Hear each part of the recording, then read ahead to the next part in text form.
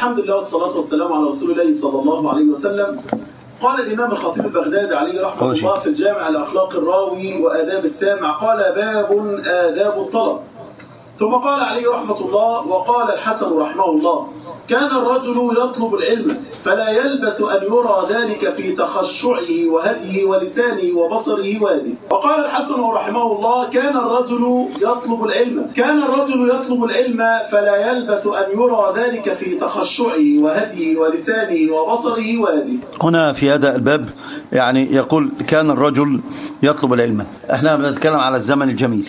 زمن هؤلاء الأخيار الأبرار. كان آه، أفضل ما كان آه، عندهم أمران. الأمر الأول هو جمعية القلب عند الطلب بالإخلاص والصدق وأنهم يتجهون إلى العلم. وكان الجميع يعلمون شرف العلم لذلك كان العلم له مكانة في كل الأمم. يعني عند كل خلافة كانت تعقد تعقد مجالس العلماء وكانت مجالس العلماء هي أعظم المجالس على على الإطلاق. وتعلمون كان العالم له كوكبة من طلبة العلم يلت- يلتفون حوله ويحتفون يحتفون به.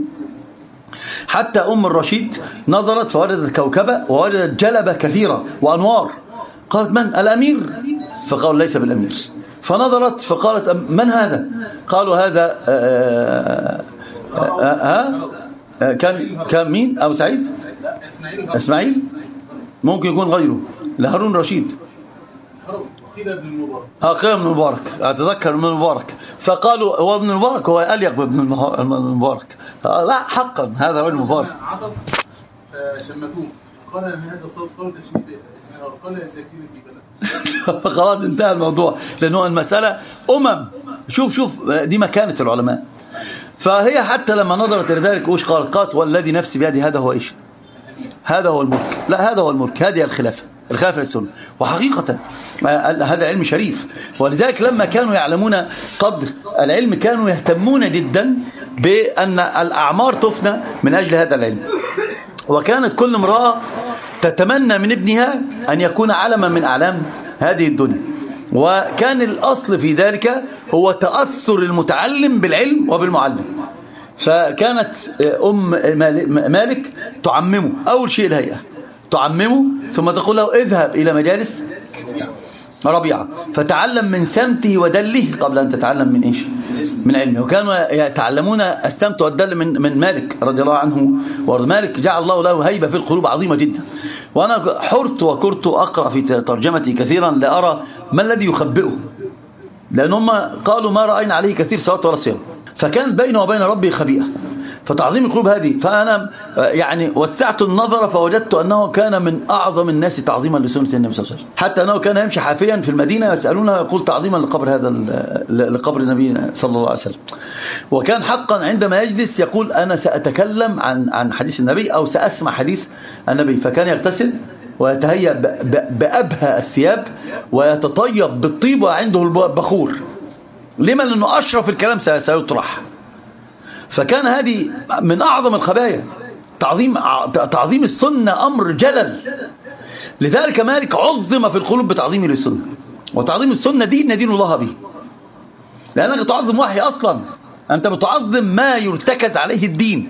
وتأتيني تقول لي لا أخذ بحديث الأحاد في العقائد. والثاني يقول لي وهذا الحديث إمامنا أعلم به منك. والثالث يقول لك أنت ليه بتتكلم في الحديث؟ ما في ليس لك. أنت مثلك لا تتكلم في الحديث. أنت مثلك تركب الحمار وتمشي. هو هذا. هم يريدون من الناس أن يكونوا كالحمير. فقط. لما؟ لأنك لما تقول قال رسول الله وش لا يحدث؟ يزعجهم. لا يفقهون لا يفهمون. فين الولد الذي عقد أو راح نظر له؟ أين هو؟ تعال. ماذا قال لك؟ هو أنت تبع الشافعي أبو الشافعي؟ لما؟ لما قال؟ دكتور في قال له إيش؟ قال له أنت تبع ولا قل. بسببك بسبب الراجل اللي بيقول الشافعي بقى خلى بتوع التجارة بتوع الليسانس الآداب يقولون أين الدليل أنا آه والله شفت هو سأله بيقول له بت- بتعادي طب الراجل اللي قال الشافعي أو بتعادي ليه؟ قال خلى الناس تقول لنا فين الدليل؟ أين الدليل؟ رايت آه والله هادي رايت صح ولا قلت هو خد الراجل خلى الناس. يعني علينا تترف تترفع صح لأنه هو كل ما يجي يكلمك لا تقول له يا ابني قال رسول الله. يقول لا ما تتكلم. ولذلك زي ما قلت مؤسسة مؤسسة عظيمة جدا لا أذكرها. قالت تصريحا قالت ما في شيء اسمه. البحث عن الحديث أو اطلاع. الحديث انتهى في عند الأئمة الأربعة. أقول إخوتي الكرام قال فلا يلبث أن يرى ذلك في تخشعه وهديه ولسانه وبصره ويده. عندما يقف بين يدي الله جل في علاه لابد أن يكون خاشعا متمسكنا لأنه تأثر بكلام النبي صلى الله عليه وسلم. فكان كما كان النبي صلى الله عليه وسلم. قالت كيف النبي صلى الله عليه وسلم؟ وكيف خلقه؟ قالت كان كانت كان خلقه الإيش؟ القرآن. ثم لما سئلت عن عبادته قالت كان كان كان إذا إذا سجد قال سبحانك اللهم وبحمدك اللهم اغفر لي. قالت يطبق ما قال الله تعالى إذا جاء نصر الله الفتح ورأيت الناس يدخلون في دين الله أفواجا فسبح بحمد ربك واستغفر. كان يطبق ولذلك الزهري قال يا أهل الحديث اعملوا بالحديث. ما أدوا زكاة الحديث عن كل أربعين حديثا اعملوا بحديث واحد.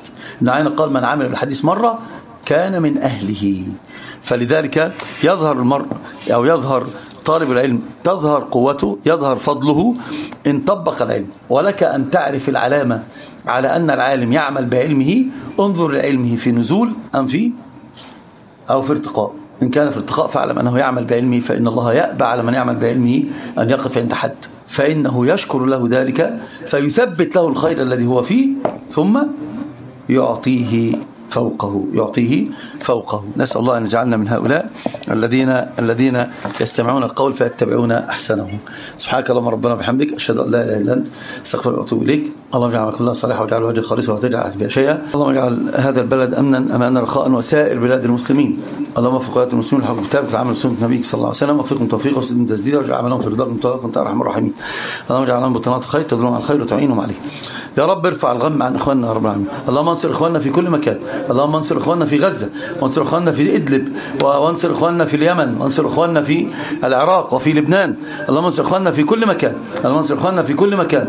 اللهم اللهم كن كن لهم عضدا ونصيرا وأنت أرحم الراحمين. اللهم كن لهم عضدا ونصيرا وأنت أرحم الراحمين. اللهم كن لهم عضدا ونصيرا وأنت أرحم الراحمين. اللهم إنا نسألك امل لا يرتد وعلما لا ينفد ومرافقه النبي محمد في جنة الخلد.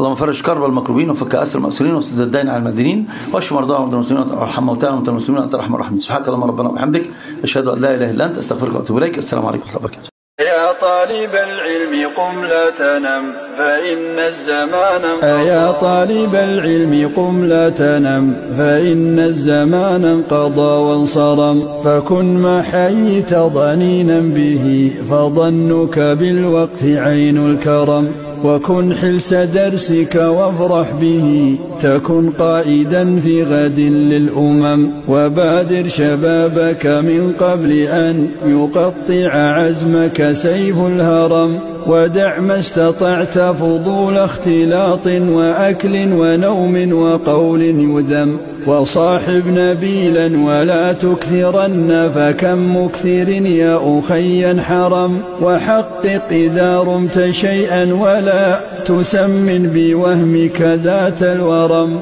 رأيت العلوم وأصحابها لدى كل ذي فطرة تحترم. فإن رمت يا صاحبي رفعة بدنيا وأخرى فلذ بالقلم وأخلص لربك واعمل بما علمت وإن تلقى فيه الألم. وصابر وثابر ولا تكسلا فإن الهموم بقدر الهمم. فإن الهموم بقدر الهمم.